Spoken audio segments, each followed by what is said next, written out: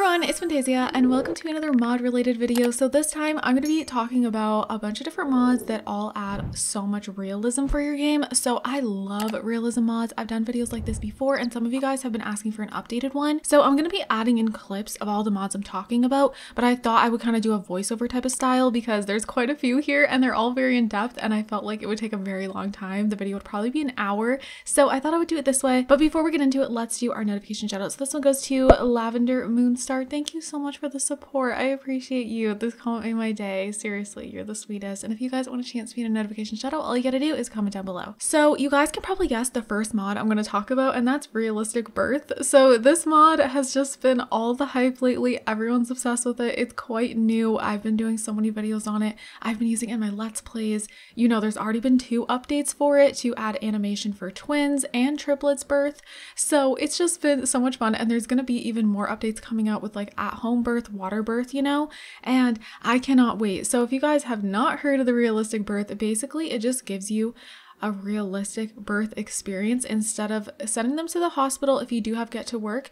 By the way, you do need get to work for this because that's what gives you the whole hospitals and all of that. So, usually with get to work, you can go to the hospital, have your baby, but it's just kind of like a machine that's very unrealistic and like they'll like pull your Sims heart out and it's like kind of weird and like kind of crazy, which like The Sims is known to just be like weird and funny like that. But for realistic players, sometimes that just seems a little too silly, like especially if you're someone who does realistic storytelling. So this actually gives you an experience where you have to stay at the hospital for, you know, up to two sim days and your sim's literally in labor and the doctor can check how dilated your sim is. You can get an epidural and that you they will actually give you an epidural. It's not like 100% the same, but still they put they do put a needle in the sim's back. And so I feel like it looks as realistic as it can and everything was just done so amazingly. The mod's by Panda Sama and I'm just in love with it and the animation is incredible.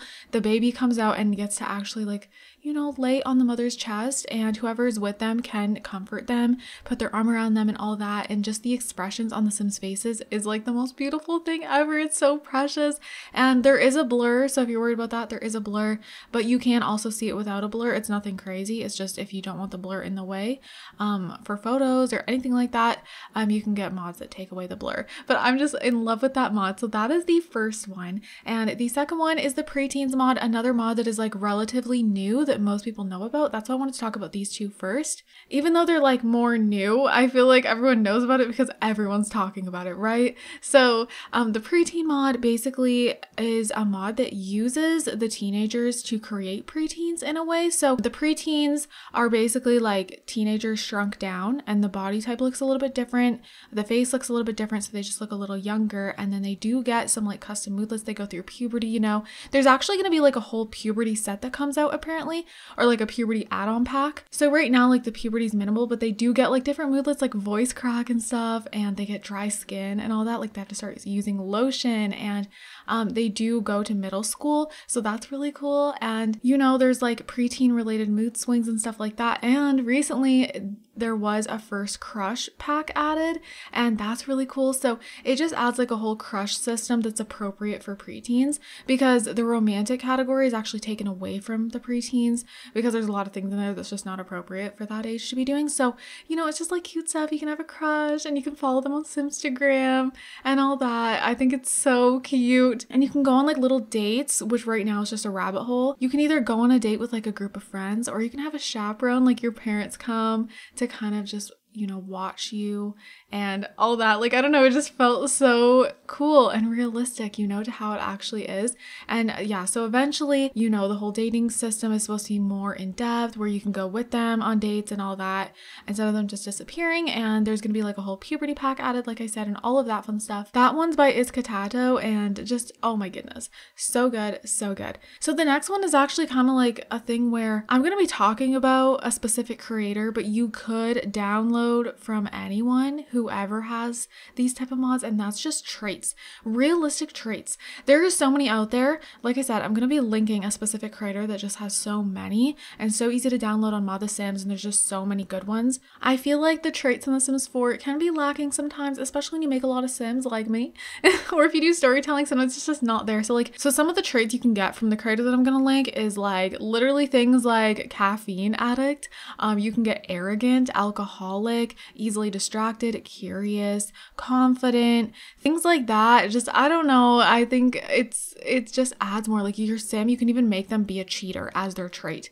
which like cheater is not something you usually think to like put as a personality trait but it kind of in the sims it's kind of nice to have options like that like caffeine addict all that because it can like add to your story right? Like if you have a cheater storyline you know what i mean? Then it's like perfect to give them that instead of like the traits you'd always give. Like you know i don't know i just i love traits like that. There's even like selfish and there's like stinky strict tired. The strict trait could be good if you wanted to have like a storyline with strict parents. That could be a whole thing. So yeah, there's just so many traits out there. So definitely just like Google Sims 4 custom trait mods. But I'm gonna be linking this creator because there is so many. So next up is the Woohoo Wellness Pregnancy Overhaul mod.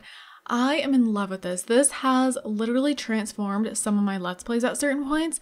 Incredible. Like, there is so many different modules, and there's going to be more added. Like, I recently did a news video on this mod, and um, I was talking about something new that's coming, and I think it's out now. But you can add pregnancy preferences and different interactions. So your sim can have a preference if they want kids or don't want kids. There's also, um, in my modded Let's Play, um, my sim was able to do artificial insemination. That added like a whole new storyline. So there's different ways to get pregnant. You know, like if your sim just can't you know, get pregnant, they keep trying. There's other things you can do, or if they don't have a significant other, there's just, I love that. And then there's also woohoo transmittable diseases with it. There's also different fertility rates, which I like, you know, and there's um there's the teen pregnancy module. So with MC Command Center, which I'm not talking about today because I feel like everyone has that, that's another good mod for realism because I mean it allows you to control everything, but like you can also go in and like set different things with like woohoo and pregnancy and all of that. But yeah, with this mod, like if you have MC Command Center and then you have this mod, there is like a whole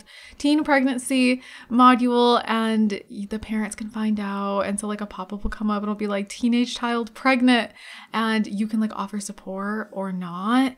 Like there's a lot that goes into it. That is so good for storytelling. And they can also get kicked out. Like the parents will have a reaction, you know? They'll either either be super supportive and there through them through the whole pregnancy, be like freaking out and be like, you need to move out, blah blah blah. Like I just think that would have been so good for me in the past with like my very first 16 and pregnant series. That would have added so so much. There's also a whole cheating and being faithful system, which is super nice because I feel like with The Sims 4, there's not like enough with relationships. So this definitely helps that. You can even like um you can question your partner. Like you can be suspicious of anything and you know they'll give you an answer. And then you can also confess to cheating. And instead of it just being like a quick little thing, like, you know, like, oh, you know, the Sims mad, whatever. No, like a whole pop up pops up and like there's actually like a whole bunch to it and like moodlets and all of that and actually affects them for real. Another really amazing thing about it is there's a whole adoption overhaul. So the adoption system is completely different. There's a whole new thing. You can still do the one that comes in game, but I think the new adoption system is so much better. You will like literally disappear off your lot and the Sims will also be able to look for their biological parents, which I haven't played around with yet, but that is really honestly so in depth and I can't even believe that's in the mod. Guys, there's even more to this mod. I'm talking so much about it because it's so big. The mod is huge. But let's move on to the next one. So the next one is the Basemental mod. Now, some people stay away from this mod. I'm someone who's had it in my game for like ever so long now because it's always just added a lot to my storylines. You know, I remember with my single dad life let's play, the father was an alcoholic and yeah, you can drink in the Sims, like obviously, but it's more like juice. And I feel like if you're a realistic player, you need like more moodlets and the opportunity for them to become an alcoholic or they can smoke weed um, cigarettes all these different things. And sometimes that's things people don't want in their game but when it comes to realistic storytelling you know sometimes you're going to have a sim that is into that stuff or gets into that stuff or you know maybe they even get a bad influence in their life and start doing that as a teenager. And I don't know, there's a lot of different storylines you can go with, and you can even go to rehab with it.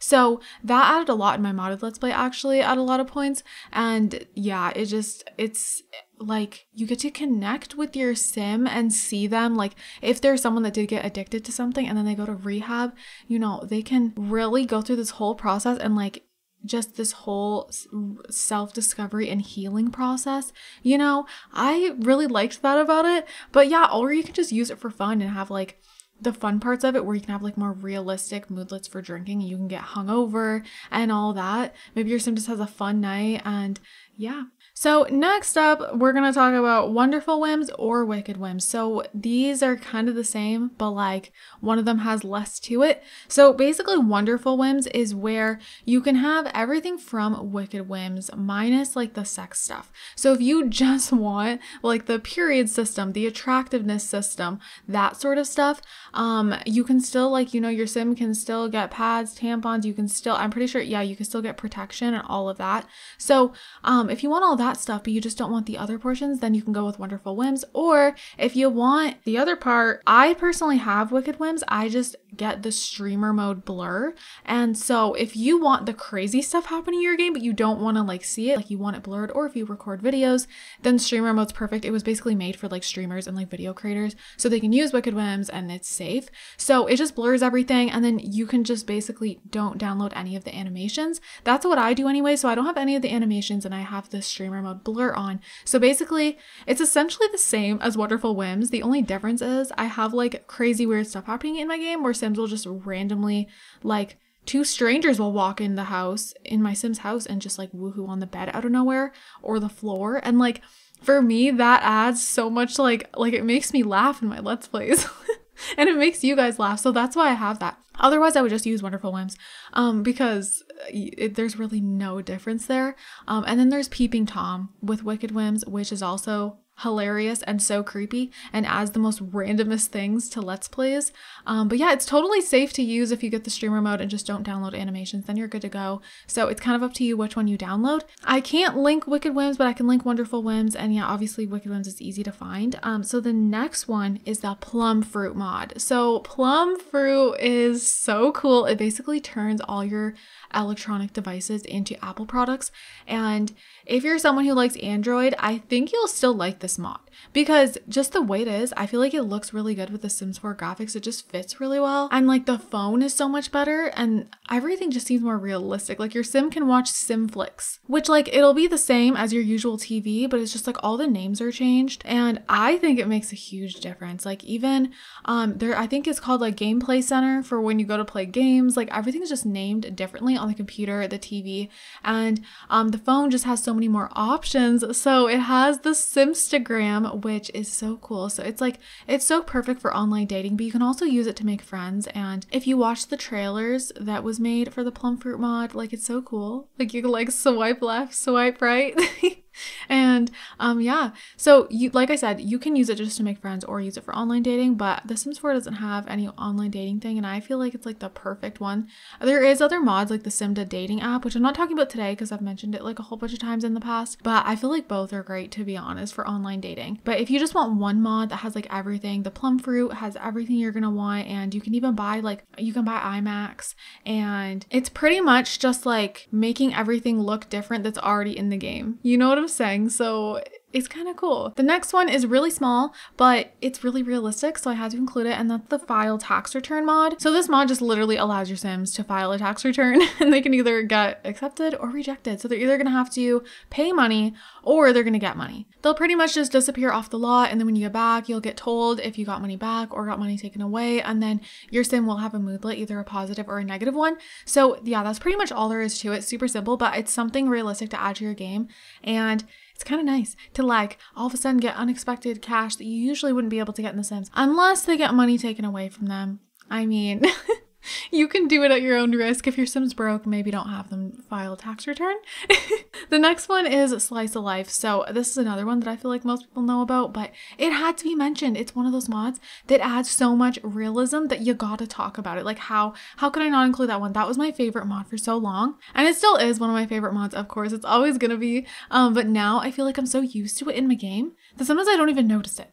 Like, it's just become something that feels like it's literally a part of the game, which is a really good thing. If you like mods that feel natural in your game, then this will definitely be for you. Some people say they feel like it's too much, but I don't find that. I don't know if it's just my game, but I feel like my Sims like feel things at a good rate, I guess. Because some people say that like their Sims get things too quickly and like they're always feeling this way or always feeling that way. I don't know. I feel like for me, it's actually okay. I'm sure you guys all know about this mod, but if you don't, it just literally adds sli- a slice of life. Like, it give your Sims life. Like literally, when your Sims are pregnant, you can get different moodlets like feeling baby kicks. When your your kids can like lose a tooth and they'll get a moodlet for it and they'll actually lose their tooth. Little things like that. And then um you there's also like other options when you click on the slice of life. Like there's a lot of different things you can do. There's like a whole health part of it. So your Sim can get sick from it. And then they can go to the doctor and get like a shot or they can just take medicine. There's like a whole like face mask system. Your Sims can do skincare, have a little face mask regimen and all of that fun stuff. But yeah, there's just so much to it. It adds like everything you need. Um, it even adds like different things with your Sim's body, how they feel about their body. Are they insecure? Are they confident?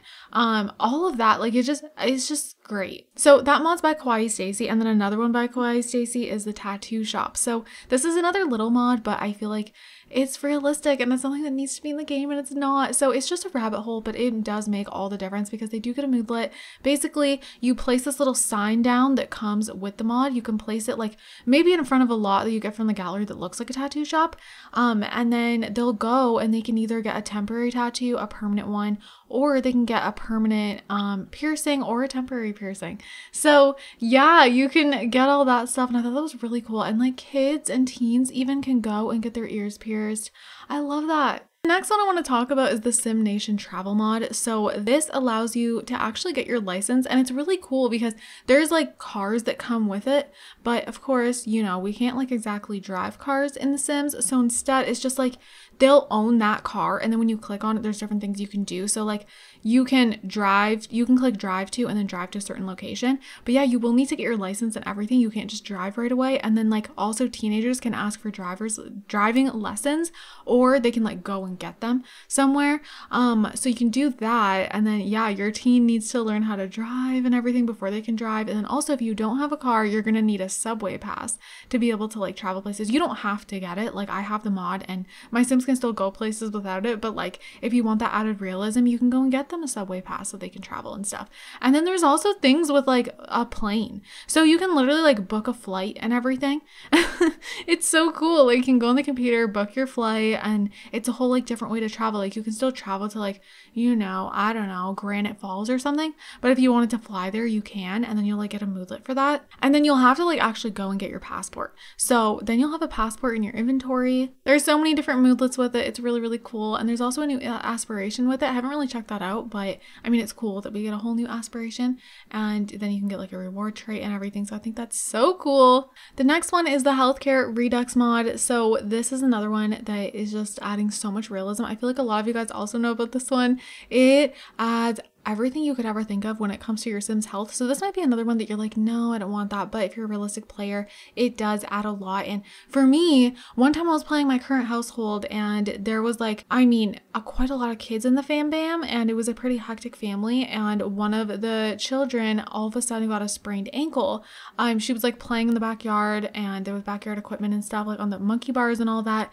And then, yeah, so all of a sudden she got a sprained ankle and then I was able to keep her home from school. And then that day she like took a bath bath and made sure to rest more, you know, lounge, lay in bed, all of that. And like it was kind of like a different experience. Like all the other kids were at school and then she got to stay home. And I really liked that for the storytelling aspect. Like that wasn't even on camera. That was just fun to do off camera. And then like the mom kept making sure she was she was okay that day and everything. I don't know. I really liked it. And then it comes with like all these realistic medications. Like of course it's in Simlish, but you can tell like there's Pepto-Bismol, there's Tylenol. You can just tell what they are by how they look. And then your Sims can even get things like asthma and There is some deadly diseases, however, I do have this mod in my game and I haven't had any of my Sims get a deadly disease. I think it's very rare. You can also get vaccinated for like a variety of different things and your Sim can also get like diagnosed with different things like anemia, anxiety, asthma, arthritis, um, eczema, migraines, seasonal affective disorder. Yeah, you can get like a whole bunch of different things. And then there's new allergies like bees, pet dander, and then you can get like seasonal allergies. So as I was saying, like the kids can get injuries like a sprained ankle from, you know, just doing things outside and stuff like that. And then there's also sports injuries. Another thing, sometimes your Sims need surgery and there can be like surgery required complications. So like your Sim could need their appendix taken out, their tonsils, things like that. Also for pregnancy, it adds more. So a lot of these mods I've talked about add more for pregnancy. So this is just going to add even more to it. You're going to have to do prenatal visits. You're going to have to get prenatal vitamins and that will help, of course. And I don't know, there's just so many cool things with that. And then also you can like, you can sometimes have like more of a risk of needing an induction or get a C-section. All of that is also included. And there is postpartum depression as well. So there is multivitamins for toddlers, children, teenagers, adults, um, so they all can take them. They don't have to, but it's an option to take. So yeah, there's just so much stuff. You can go for doctor's appointments. Your Sim's not feeling good, you can book a doctor's appointment. They can tell you what's wrong, and it's really, really cool. So there's that one. And the very last one is the dental care mod. So this is by the same creator, and so it's like it works in a very similar way. You can make dentist appointments, your Sims can get cavities, um, they can get braces. They can get their wisdom teeth taken out. And yeah, your sim will just have to go in and get their teeth checked, go for cleanings. Um, you will have to pay more attention to like the hygiene and stuff. Like you're gonna have to brush your teeth and all that. I forget to do it a lot and my sims are still okay in my game. So like it'll be fine. The good thing about this mod is like well, both of the mods, Healthcare Redux and the Dental Care one, is you don't feel like you have to keep going to the doctor or have to keep going to the dentist, all that. You can kind of like play how you want to play, but you know, sometimes you might get pop ups and stuff like that. Sometimes you might get told that your sim has like a toothache. So those options are there just for like more realism gameplay, but that was actually the last mod, you guys. See, that still took me quite a while to get through. so that's why I wanted to do it in this kind of form. Um, I've done it before and you guys seem to enjoy it just with clips with me like explaining each mod.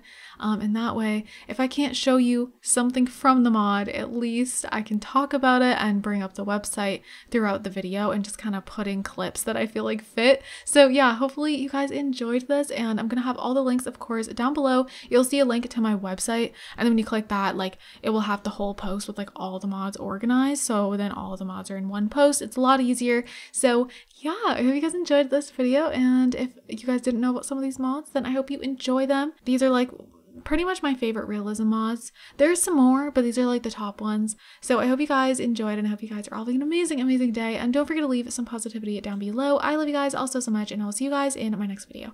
Bye guys!